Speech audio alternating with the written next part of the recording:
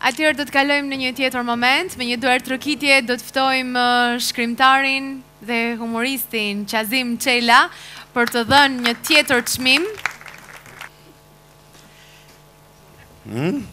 Çmimi që do të jap unë është çmimi i karrierës.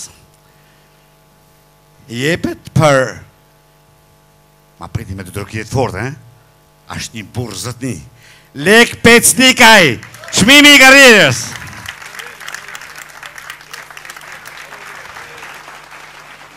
Lek na ka porosit Gëzimi, mëjtë me shumë kujtë se thehet, ka thënë.